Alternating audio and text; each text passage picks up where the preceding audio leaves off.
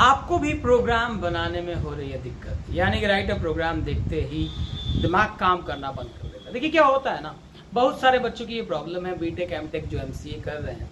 उनको प्रॉब्लम आती है प्रोग्रामिंग में प्रोग्राम बनाने में।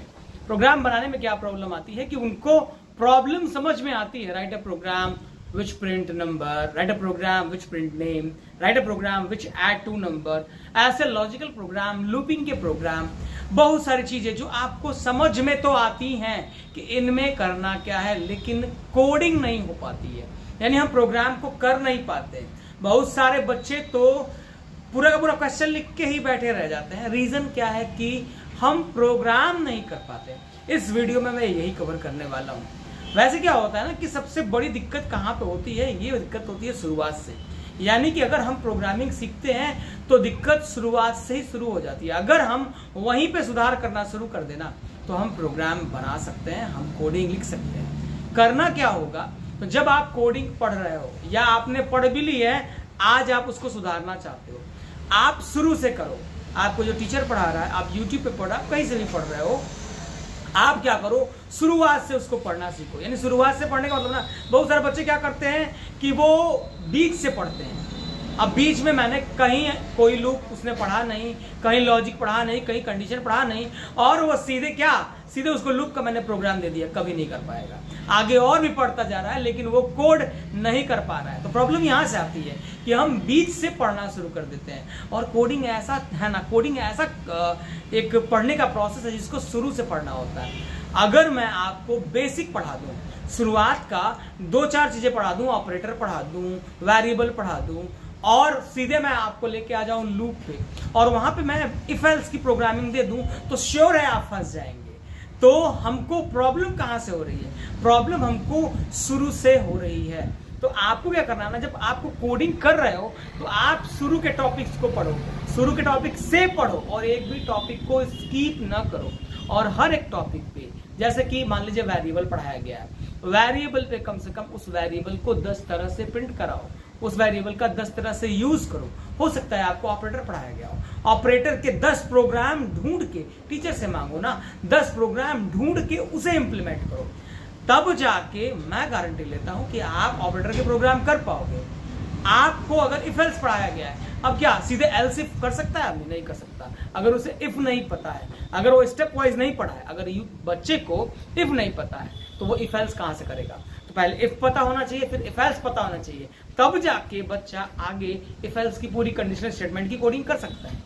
लूपिंग के लिए, देखिए लूपिंग हर जगह अधिकतम लैंग्वेज में देखता हूँ। वाइल और फॉर तो रहता ही रहता है, चाहे वो पाइथन हो, चाहे वो सी हो, चाहे वो सी प्लस प्लस हो, चाहे वो जावा हो। किसी भी लैंग्वेज में देखो ना तो ये दो लुक तो रहते ही रहते हैं। फॉर और वाइल यहाँ पे डू वाइल जो है सी और सी प्लस प्लस और जावा में होते हैं।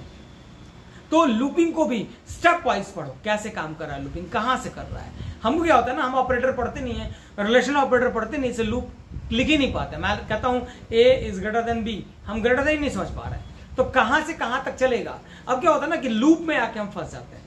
हम लूप में आके फंस जाते हैं। लूप में कहाँ से फंसना? भैया, मैंने कहा कि एक से लेकर दस तक प्रिंट करा दो।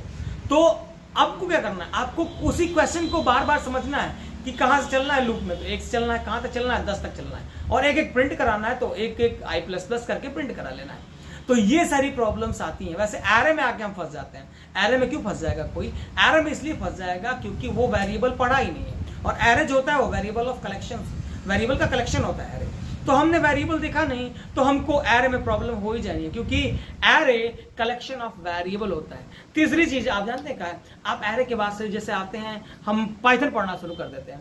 पाइथन में लिस्ट है टपल है है ना? डिक्शनरी है। हम ये सब पढ़ना शुरू कर दिए, हमको एरे पता ही नहीं है। तो क्या होता है कि बिगनिंग से ना पढ़ने की वजह से ही कोडिंग करने में प्रॉब्लम आती है। तो आपको कैसे कोडिंग स्टार्ट करना है? आपको कोडिंग स्टार्ट करने के लिए सबसे पहले आपको स्टार्टिंग से पढ़ना स्टार्टिंग से मतलब कि जब से कोडिंग आपको पढ़ाई जा रही है, जो प्रोग्रामिंग आपको पढ़ाई जा रही है, वहाँ से पढ़िए, तब आप कोड कर पाओगे अदरवाइज़ नहीं कर पाओगे। वैसे मैं बता दूँ, अगर आप कोडिंग करना चाहते हो ना, और नहीं समझ में आता तो आप शुरुआत करो एच से।